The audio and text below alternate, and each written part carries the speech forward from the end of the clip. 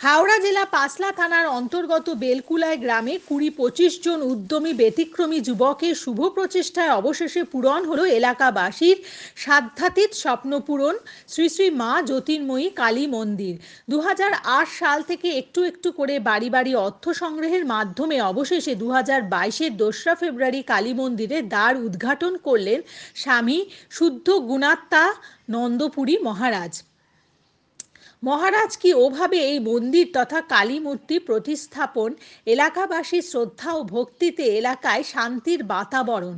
মার কৃপা চিরবর্ষিত হোক জানালেন স্বামীজি। প্রথমত মায়ের কাছে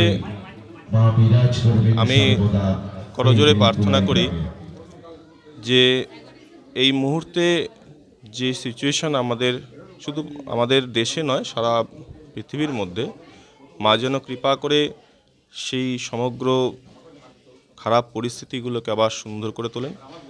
উত্তর চব্বিশ পরগনা, বাগদা থানার গাঙ্গুলিয়ার বাসিন্দার মাহাবুর আলম মণ্ডল বারো বছর আগে বিয়ে করেছিল রেহেনা খাতুন মণ্ডলের সঙ্গে। তাদের এক পুত্র সন্তান ও এক কন্যা সন্তান আছে। কিন্তু সাম্প্রতিক মাহামুর গঙ্গুলিয়া গ্রামেরই স্নেহা পাল মণ্ডল নামে এক গৃহবধূর প্রেমে পড়ে এবং দু মাস আগে মাহাবুর স্নেহাকে নিয়ে পালিয়ে যায় পুনেতে। স্নেহার বাবার অভিযোগের ভিত্তিতে পুলিশ আটক করে দুজনকে। কোর্ট থেকে জামিনে মুক্ত হয় তারা, কিন্তু তাদের প্রেম কাহিনী চলতে থাকে। অবশেষে স্নেহাকে নিজের বাড়িতে নিয়ে আসে মাহাবুর।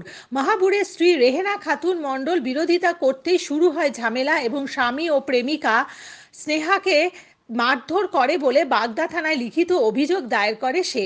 পুলিশ অভিযোগ পেয়ে তার স্বামী মাহবুর আলম মণ্ডল ও প্রেমিকা স্নেহাকে গ্রেফতার করে। ধৃতদের আজ বনগাঁ মহকুমা আদালতে পাঠাচ্ছে বাগদা থানার পুলিশ। বড়ইয়ার ব্লকের অন্তর্গত খরজুনা অঞ্চলের বদুয়া গ্রামের রাস্তায় দীর্ঘদিনের সমস্যা গ্রামবাসীদের তাদের অভিযোগ, স্থানীয় পঞ্চায়েত প্রধানকে বারবার বলা সত্ত্বেও রাস্তা হয়নি। তাই গ্রামবাসীরা নিজেরাই বাড়ি বাড়ি গিয়ে টাকা তুলে দু লক্ষ টাকার মাটি ফেলে রাস্তা মেরামতের কাজ শুরু করল। এই রাস্তার জন্য বাচ্চারা স্কুলে যেতে পারছিল না এবং মহিলারা রাস্তায় পড়ে যাচ্ছিল। তাই নিজেরাই ঠিক করল রাস্তা মেরামত করবে বলে। বুধবার সকালে তারা সেই মেরামত করতে শুরু করে এবং এমনই চিত্র উঠে এলো আমাদের ক্যামেরায়।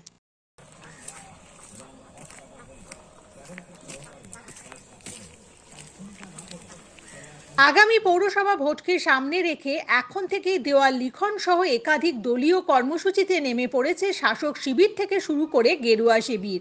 কিন্তু পৌরসভা ভোটের নির্ঘণ্ট প্রকাশ করার আগেই পশ্চিম মেদিনীপুর জেলার খড়গপুর বিজেপির বড়সড় ভাঙ্গন। প্রায় দু হাজার বিজেপি কর্মী সমর্থক যোগদান করল তৃণমূলে। বুধবার বেলা এগারোটা নাগাদ খড়গপুর শহরের ইন্দাতে শহর তৃণমূল কংগ্রেসের দলীয় কার্যালয় প্রাঙ্গণে এক দলীয় কর্মসূচিতে খড়গপুর পৌর পৌরসভার একুশ নম্বর ওয়ার্ডের সক্রিয় বিজেপি মহিলা কর্মী সহ একত্রিশ নম্বর ও বত্রিশ নম্বর ওয়ার্ড থেকে প্রায় দু হাজার বিজেপি কর্মী সমর্থক তৃণমূলে যোগদান করেন, এমনটাই দাবি তৃণমূলের।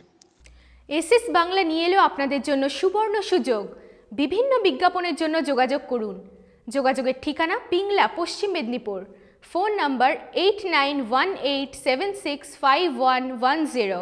another one 03 double double two three eight nine five three.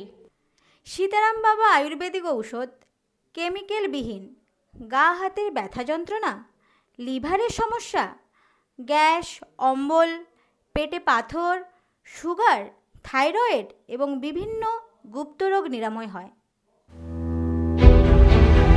আপনারা দেখছেন এস এস বাংলা সব ঋতুতে আপনাদের টিভিতে